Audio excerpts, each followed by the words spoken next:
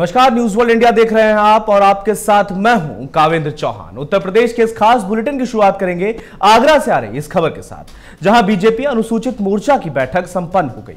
वही बैठक में सैकड़ों की संख्या में बीजेपी कार्यकर्ताओं ने हिस्सा लिया। और बीजेपी अनुसूचित मोर्चा के प्रदेश कार्यकारिणी के पदाधिकारी भी मौके पर मौजूद रहे। इसी के साथ ही बैठक में 2022 के चुनावों को लेकर जमीनी स्तर पर रणनीति तैयार की गई है। अधिवेशन में 2022 में सरकार बनाने को लेकर प्रतिज्ञा भी ली गई।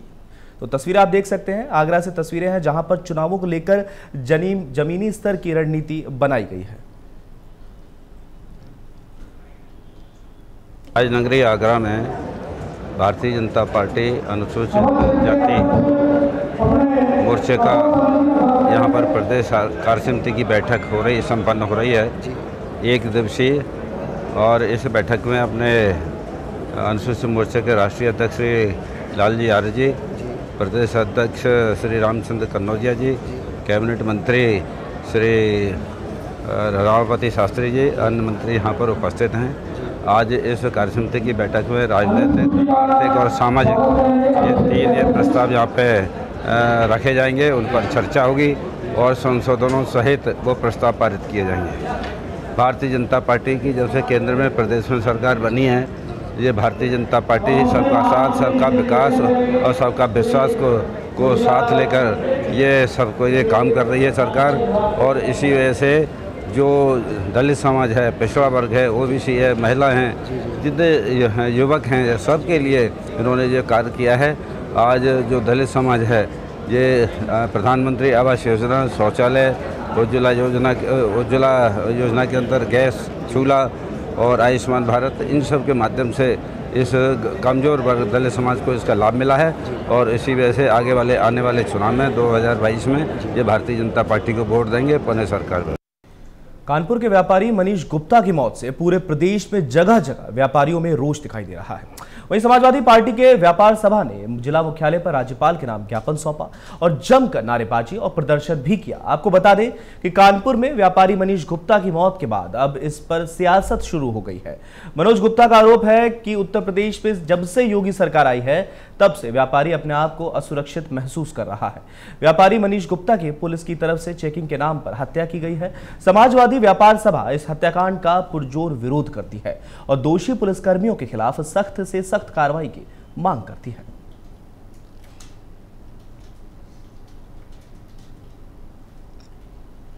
देखिए, उत्तर प्रदेश में जब से योगी सरकार आई है, व्यापारियों का बहुत ही दुर्भाग्य है। हमारे एक व्यापारी, कानपुर के बर्रा निवासी मनीष गुप्ता, जो कि गोरखपुर किसी कारण अपने कार्य से गए हुए थे, वहाँ पर पुलिस ने चेकिंग के नाम पर उनकी बेरहमी से बर्बरतापूर्वक मार पीट मारा पीटा जिससे उनकी वहाँ मृत्यु हो गई। ये एक सरासर हत्या है। जिस बेरहमी से मनीष गुप्ता को मारा गया है निश्चित रूप से एक उत्तर प्रदेश सरकार के ऊपर प्रश्न चिन्ह है कि आखिर आपकी सरकार में व्यापारी सुरक्षित क्यों नहीं? पूरे प्रदेश में आए दिन व्यापारियों के हत्याएँ लूट की घटनाएँ व्यापारियों से चौथ वसूली आम है। आज महामहिम राष्ट्रपति महामहिम राज्यपाल महोदय के को हमने एक ज्ञापन दिया है। माननीय जिला अधिकारी महोदय के माध्यम से। और उनसे यह मांग करी है कि मनीष गुप्ता के परिजनों को न्याय दिया जाए, उनकी पत्नी को सरकारी नौकरी दी जाए, और उनको कम से कम एक करोड़ का मुआवजा दी जाए, जिससे कि वे अपने परिवार का भरण पोषण कर सकें। तो कानपुर से हमारे साथ अश्विनी अवस्थी जुड़ गए हैं। अवस्थी साहब बहुत बहुत स्वागत है। आपको आवाज़ आ रही है मेरी? हेलो आवाज़ सुन पा रहे हैं आप मेरी?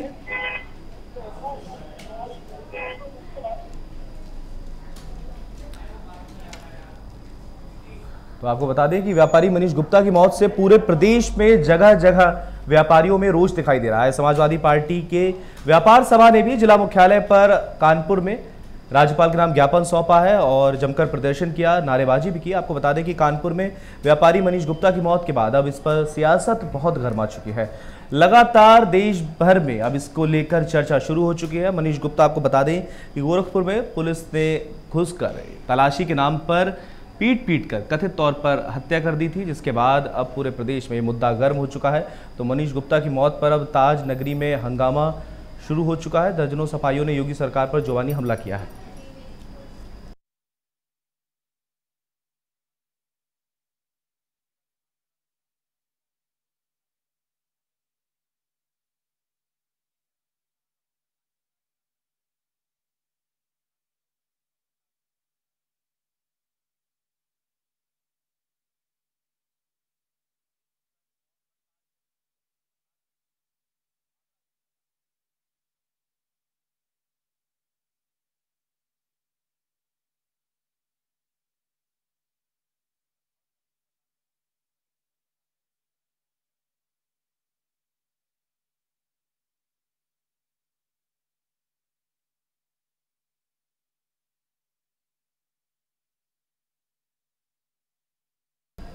वहीं बाराबंकी में रेप केस में फंसे बसपा सांसद अतुल राय मामले में। निलंबित सीओ बघेल को वाराणसी पुलिस ने बाराबंकी से गिरफ़्तार कर लिया है।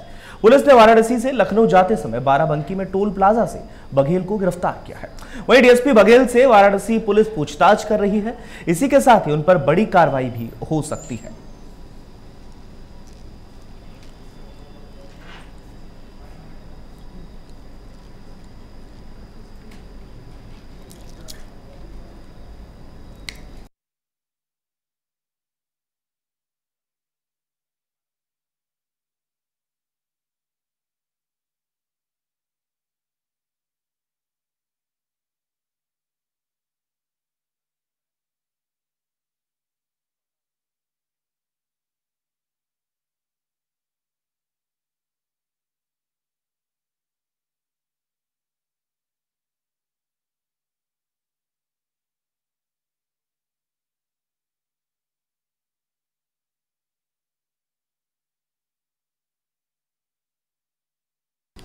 वहीं एक बार फिर न्यूज़ वर्ल्ड इंडिया की खबर का बड़ा असर देखने को मिला है।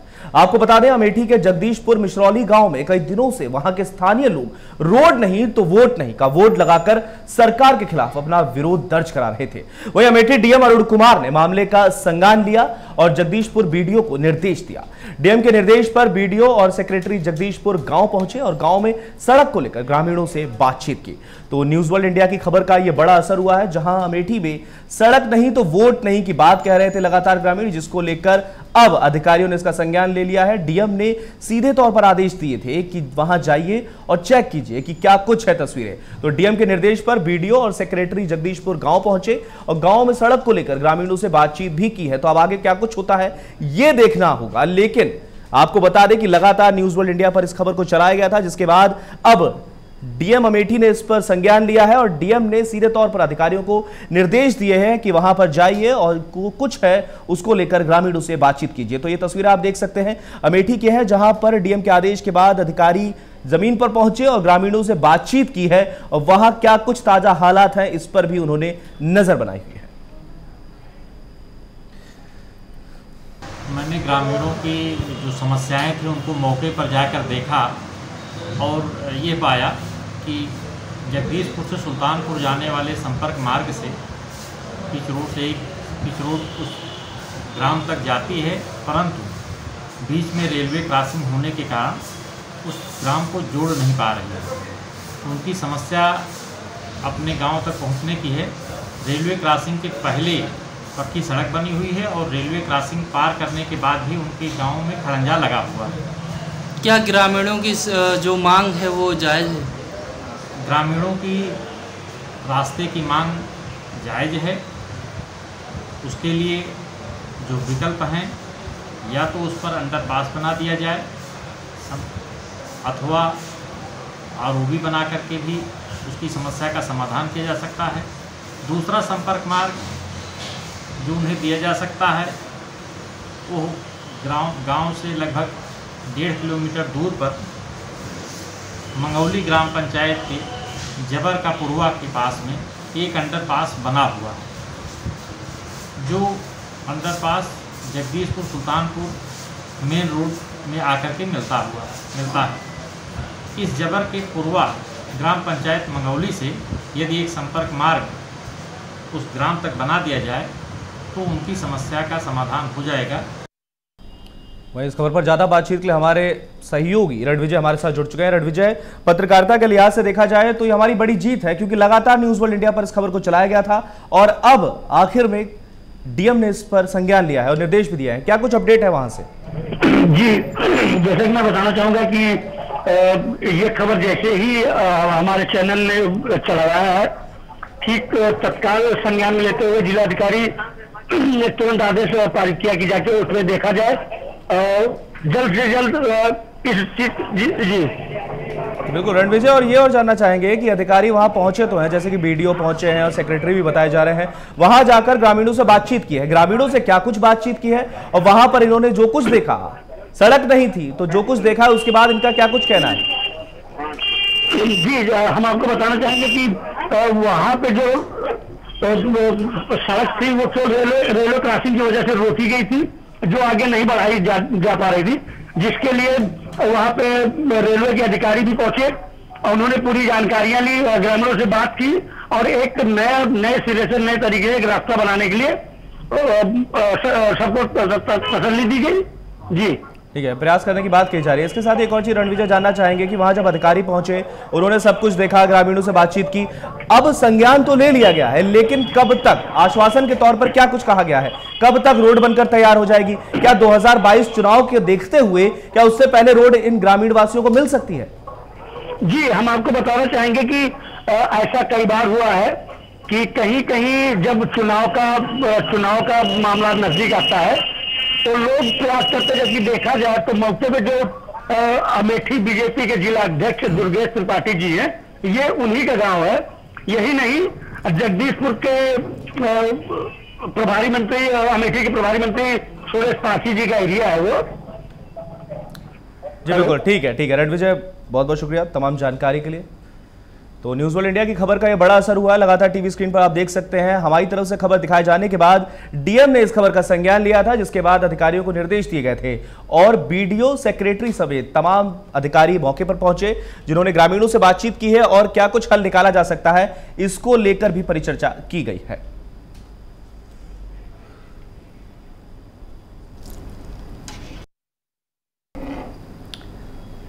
हाथरस में बहुचर्चित हाथरस बिटिया कांड को लेकर। आज लोग सड़कों पर कैंडल लेकर निकले। वहीं लोगों ने यह कैंडल मार्च पुलिस और प्रशासन की मौजूदगी में निकाला। इसी के साथ ही लोगों ने हाथरस की बिटिया को न्याय दिलाने के लिए दो मिनट का मौन भी रखा। आपको बता दें कि 29 सितंबर 2020 को दिल्ली के सफदरगंज अस्पताल में इलाज के दौरान बिटिया ने दम तोड़ा था। जिसके बाद हाथरस पुलिस और प्रशासन ने मिलकर देर रात बिटिया के शव को जलाने का घिनौना काम किया था। जिसके चलते लोगों ने सड़कों पर कैंडल मार्च निकाला है। आप तस्वीरों में देख सकते हैं। ये कैंडल मार्च की तस्वीरें हैं, जहाँ के पिटिया के लिए सड़कों पर लोग उतर आए हैं।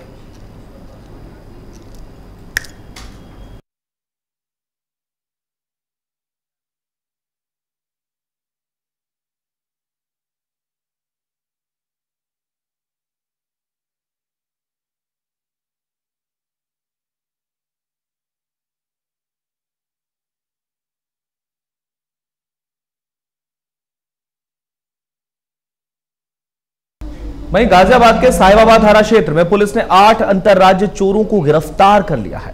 बताया जा रहा है कि आरोपी सिगरेट के बड़े गोदामों को निशाना बनाकर लाखों रुपए की सिगरेट चोरी करके रफू चक्कर हो जाया करते थे।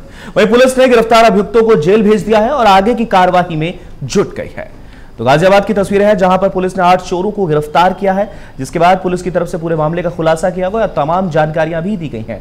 पुलिस ने गिरफ़्तार अभियुक्तों को फ़िलहाल जेल भेज दिया है और आगे की कार्रवाई में पुलिस जुट गई है।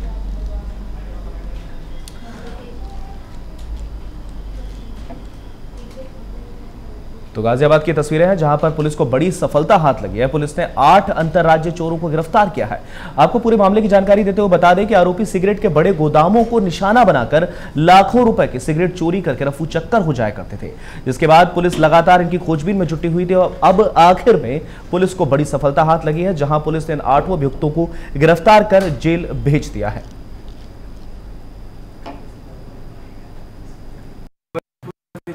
द्वारा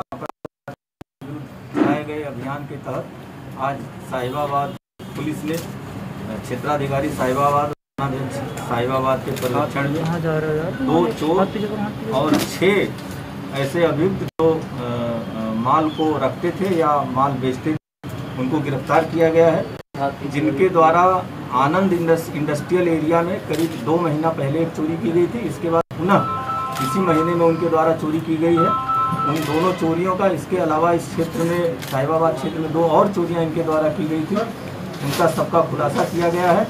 इनके द्वारा दो गाड़ियाँ जो चोरी में यूज़ की गई थी, एक होंडा सी वो और एक स्विफ्ट, ये दोनों गाड़ियाँ बरामद की गई हैं। इनसे पाँच लाख रुपए की सिगरेट और करीब आठ लाख रुपए बरामद किए दिल्ली के पास गाजियाबाद की थाना साहिबाबाद पुलिस ने पाँच लाख रुपए की महँगी सिगरेट बरामद की है। साथ ही साथ आठ आरोपियों को भी हिरासत में लिया गया है। आपको बता दें कि ये वही आरोपी हैं जिन्होंने ये सिगरेट गोदाम से चोरी कर ली थी। हालाँकि पुलिस की मुस्तैदी इसे कहेंगे जिसे चंद घंटों में इस बड़ी चोरी को खोला गया है। आरोपी के पास से आठ लाख रुपये की नकदी और ये दोनों लग्जरी कारें भी बरामद की गई हैं। अब ऐसे में पुलिस पूरी तरीके से मुस्तैद थी, बारी थी इन आरोपियों को जिन्हें अब हिरासत में ले लिया गया है। आपको बता दें, ये जो आठ लाख की रकम आप देख रहे हैं, एक मोटी रकम, भारी भरकम रकम, ये उन आरोपियों से बरामद की गई है और ये गाड़ियाँ भी बरामद की गई हैं। साथ ही साथ पाँच लाख रुपये की कीमत की ये मालबोरो की सिगरेट, जो कि काफ़ी महँगी सिगरेट है, ब्रांडेड है, ये आरोपियों से बरामद की गई अब ऐसे में पुलिस ने इन सभी आरोपियों को हिरासत में लेकर जब पूछताछ की तो उन्होंने बताया कि ये अंतर्राज्यीय चोर हैं, जो कि लगातार तमाम चोरी की वारदातों को अंजाम देते रहे हैं। इनके पास से ये लग्जरी कारें बरामद की गई हैं, स्विफ्ट कार है और ये होंडा सिटी कार है, जो कि इन आरोपियों से बरामद की गई है। फ़िलहाल इन सभी आरोपियों को जेल भेजा जा रहा है। गाजियाबाद से Jitendra Bhati, news world India. Hamirpur के चिकासी थाना क्षेत्र में 12 अगस्त को मायके आई नवविवाहित महिला के साथ गाँव के दो युवकों ने गैंगरेप की वारदात को अंजाम दिया था।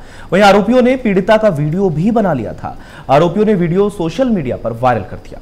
जिसके बाद पीड़िता ने आरोपियों के खिलाफ थाने में तहरीर दी और आरोपियों के खिलाफ कार्रवाई करने की मांग की है।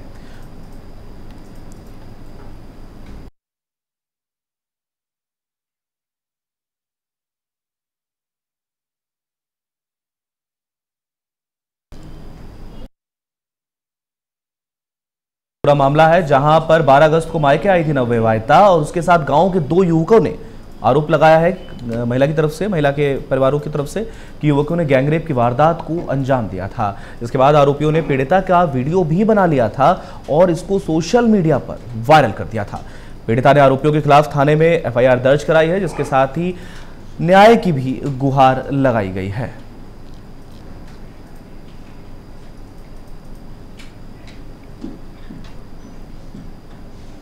आगरा में पुलिस ने ट्रकों पर फर्जी नंबर डालकर बेचने वाले गैंग को पकड़ लिया है।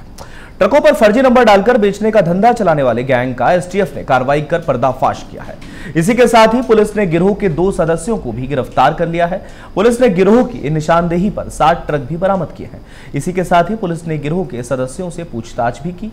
पुलिस ने कहा है कि इस कड़ी में अभी कई और नाम सामने आएँगे। तो आगरा की ये तस्वीरें हैं जहाँ पर ताजनगरी में एसटीएफ की बड़ी कार्रवाई देखने को मिली है। पुलिस ने अंतरराज्यीय गैंग का पर्दाफाश किया है, जिसके बाद पुलिस ने आपको बता दें कि बड़ी संख्या में ट्रकों को भी पकड़ा है। जिसके बाद पुलिस ने कहा है कि अभी तो ये शुरुआत है, इसके बाद आगे भी कार्रवाई इसी तरह की जारी रहेगी। और भी लोग हैं जिनको जल्द ही गिरफ़्तार किया जाएगा। आपको बता दें कि पूरे मामले में जो आज के ताज़ा मामला है, उसमें गिरोह के दो सदस्यों को गिरफ़्तार किया गया है। पुलिस ने गिरोह की निशानदेही पर सात ट्रक यहाँ से सुनिएगा दर्शकों, सात ट्रक भी बरामद किए हैं। इसी के साथ पुलिस गिरोह के अन्य सदस्यों की भी ढूंढ में लग गई है।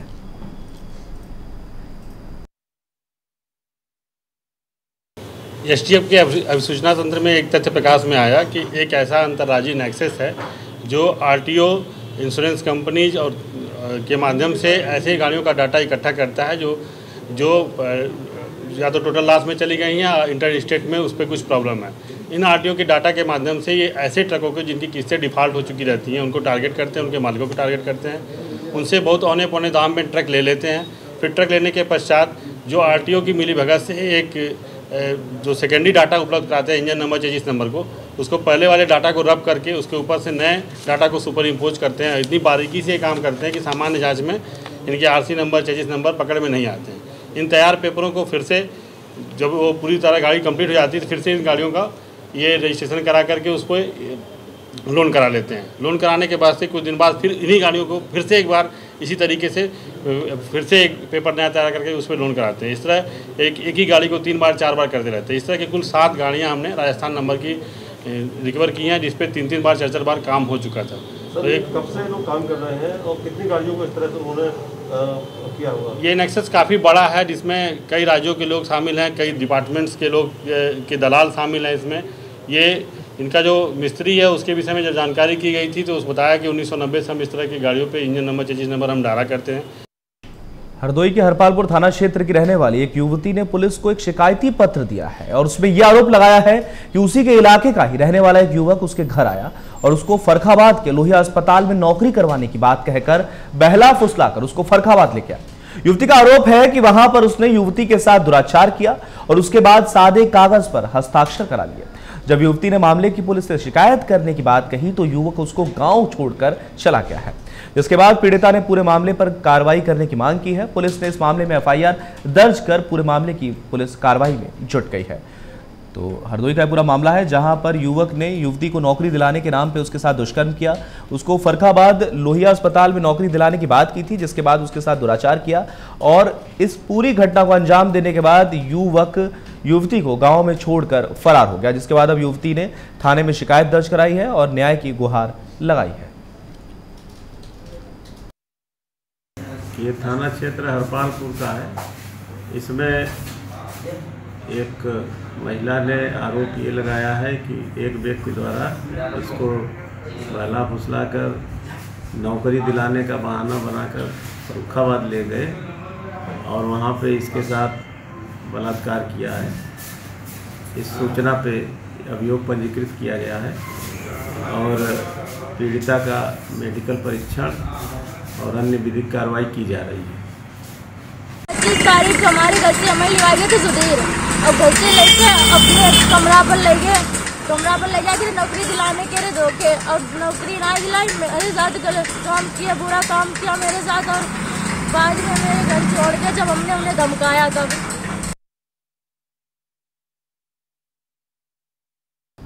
मथुरा के गोवर्धन गाँव आनेौर में 4 सितंबर को जल निगम की लापरवाही से हुई पाँच साल के मासूम की मौत के बाद मृत बच्चे के पिता गेंदालाल को चार लाख रुपए की सहायता मुख्यमंत्री राहत कोष की तरफ़ से मिल गई है। पीड़िता गेंदालाल ने बताया है कि विकास हमारे घर सांत्वना देने आए और गाँव के ही जनसेवा केंद्र में पैन कार्ड बनवाया। और इस दौरान आए खर्चे का खुद ही वहन किया। हम बच्चे को तो वापस नहीं ला सकते, लेकिन जगह खरीद कर हम अब खुद का छोटा सा घर बना लेंगे। समाज सेवी विकास दादा ने कहा, पीड़ित गेंदालाल जी अनपढ़ थे तो मैंने उनके साथ कई बार तहसील, बैंक और बिजली घर जाकर संबंधित अधिकारियों से बातचीत की और एक बार फिर नवागत उपजिलाधिकारी से भी राहत में देरी आने की बात बताई। विकास ने मुख्यमंत्री समेत तहसील के अधिकारियों से लेकर सभी संबंधित अधिकारियों का धन्यवाद किया और बोले कि पीड़ित परिवार को अब खुद का घर मिल जाएगा। देखिए, हमें बहुत दुख भी है और बहुत खुशी भी है, क्योंकि यह परिवार बच्चा खोया है और इस परिवार को जो किराए पर रहते हैं, रिक्शा चलाकर गेंदालाल जी करते उनको अपना खुद का घर बन जाएगा, जैसे वो कहने कि हम पैसों से खरीद घर खरीद लेंगे। हम धन्यवाद करना चाहेंगे मुख्यमंत्री जी का, तहसील के अधिकारियों का और जो जो भी अधिकारी, संबंधित अधिकारी इस बीच दौरान आए, उनके पैसे दिलाने अहम भूमिका निभाई। ज्ञानलाल जी ने जैसा बताया कि मैं कदम से कदम, ताल पर उनके साथ साथ तो एक इंसानियत होने के नाते मैं उनके साथ कदम से कदम मिलाकर रहा, क्योंकि वे अनपढ़ थे तो हमारा पूरा हक बनता तो मैं अगले दिन सांत्वना दिन उनको घर गया तो मैंने पूछा कि खाता आपकी किस बैंक में? उन्होंने बोला, किसी बैंक में नहीं। अगले दिन ही मैंने के खाता खुलवाइए आप अपना स्लिप से उनका फिर बैंक अकाउंट खुलवाया। इसलिए हम उनके साथ तहसील में कई चक्कर लगाए, अधिकारियों से बात की एस साहब से देरी होने पर बात की कैसे पैसे आने में देरी लगी। मैं ढीले कुर्ता जो पैन कार्ड बोलते हैं, ढीले कुर्ते, मैं पचास जोड़ी सुनवा लो वो दो तीन जोड़ी पैन कार्ड बोले पचास जोड़ी में ढीले कुर्ते डोला, अपनी कार से मैं गोवर्धन मथुरा, नेतागिरी कोरी करता डोलूँ, हाथ जोड़ता डोलूँ इधर उधर मतलब फालतू में अपना समय व्यक्त कर दूँ। मैं नेतागणों को भी बताना चाहूँगा कि एक भी नेता वहाँ पर कोई ऐसा नहीं था। गेंदा लाल जी के अनुसार कि हमने आँखों देखी है, कोई भी उनकी इस दौरान मदद की झूठ बोलकर भी यहाँ तक बड़े बड़े दिग्गज नेता उनके पास से चले गए, लेकिन जब हमने उन पर कॉल की, कॉल तक नहीं उठाई तो ढीले कुर्ते पहनने से ऐसी राजनीति नहीं चलेगी। जमीनी स्तर की राजनीति वे नेता कर सरकार का बहुत बहुत धन्यवाद है। हमारी बीजेपी सरकार ने खूब संग दिया। हम गरीब आदमी हैं, हम किराए पर रहते और जो हमारे विकास दादा है, उन्होंने बहुत हमारा संग दिया है। विकास दादा के स्कूल में हमारी बच्ची और उसमें पढ़ती हैं और बेचारा कोई पैसा नहीं, कोई फ्री सेवा है। और इन्होंने विकास दादा ने बिजली घर लेके, तहसील से लेके हमारा पूरा सहयोग दिया है। तो फ़िलहाल के लिए उत्तर प्रदेश के इस खास बुलेटिन में इतना ही। बाकी देश और दुनिया की तमाम बड़ी खबरों को देखने के लिए आप बने रहिएगा न्यूज़ वर्ल्ड इंडिया के साथ। धन्यवाद।